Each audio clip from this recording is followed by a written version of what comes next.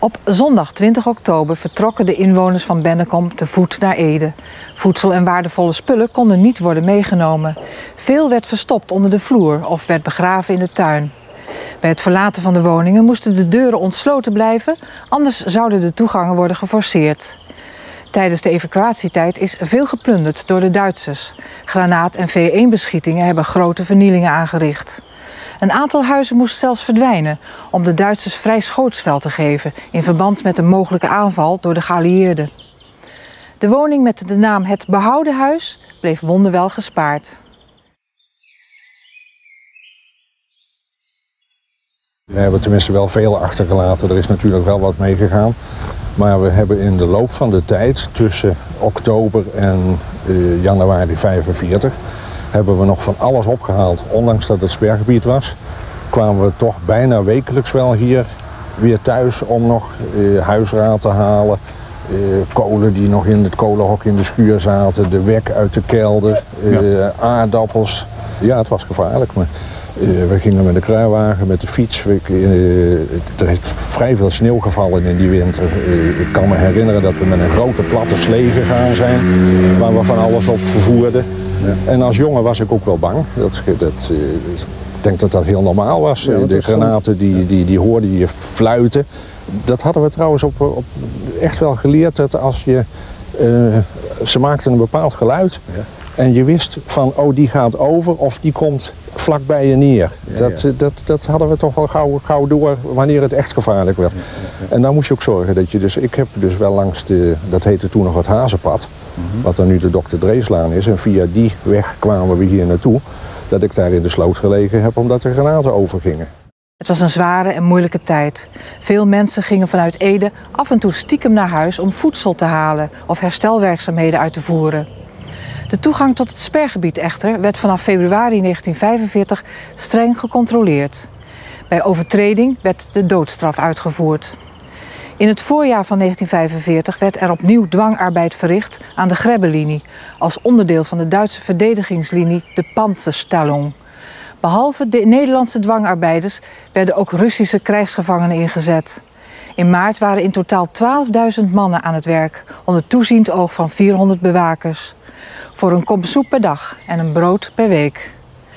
In Veenendaal werden in maart 3000 mensen extra opgeroepen. Zij moesten dag en nacht werken aan de bouw van 35 bunkers en stellingen.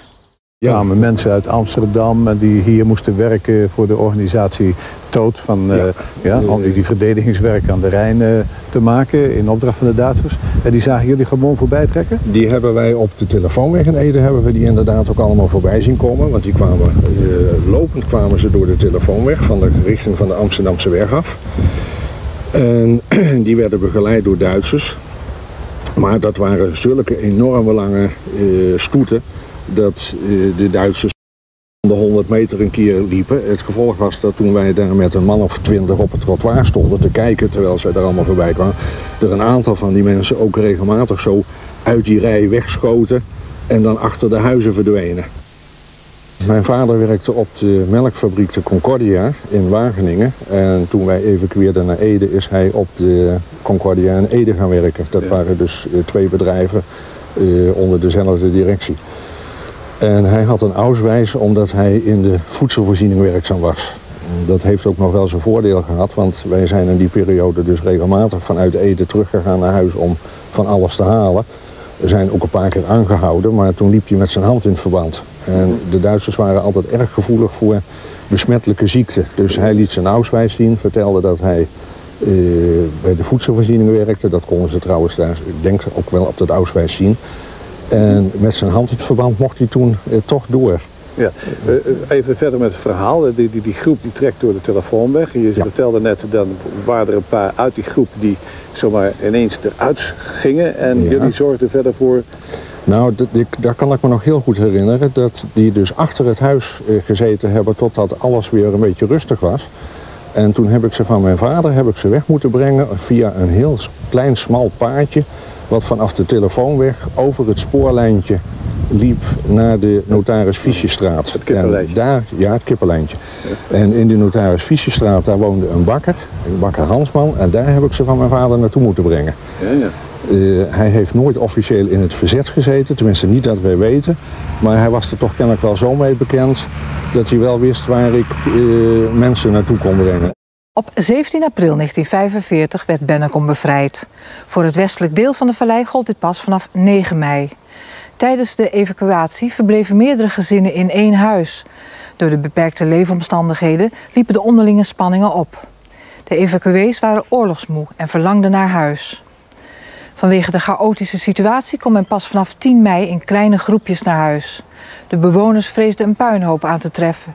Men was bang voor besmettingshaarden van ziektes. Bij een massale ongecontroleerde terugkeer zouden plunderingen kunnen plaatsvinden. Daarom werd de terugkeer streng begeleid. Henk Gijspertse vertelt hierover. Bennekom is in wijken verdeeld en per wijk mocht je terug naar je huis. Uh, er is toen hulppolitie ingesteld. Mijn vader is nog, ik geloof dat hij ook nog één week bij de hulppolitie gezeten heeft. Die kregen geen uniform, maar die kregen iets van een band om hun arm. En die moesten dan regelen dat zo'n wijk weer terug mocht naar hun woningen. Ik denk dat dat geweest is om, om diefstal of wat ook, hoewel er uh, niet veel meer te stelen was, want het meeste was allemaal al weg. Ja, er was ook veel kapot, hè? Er is ontzettend veel kapot geweest. Wij hebben, uh, voor zover als ik me kan herinneren, ook pas in augustus 45 weer elektrisch licht gekregen. Aha. Voor die tijd hebben we het altijd met, uh, met olielampjes en met kaarsen moeten doen. Bij terugkeer bleken vloeren te zijn opengebroken. Veel was gestolen en waardevolle spullen waren verdwenen. Bewoners die terugkeerden konden niets beginnen. Er waren geen bezems, dweilen of schoonmaakmiddelen. Er waren geen gereedschappen of bouwmaterialen. Na de oorlog kregen de bewoners een kleine vergoeding. Men kon materialen zoals hout of huishoudelijke spullen ophalen bij het voormalige hotel, café, restaurant Neder-Veluwe. Heel langzaam kwam het gewone leven weer op gang begon men met de wederopbouw.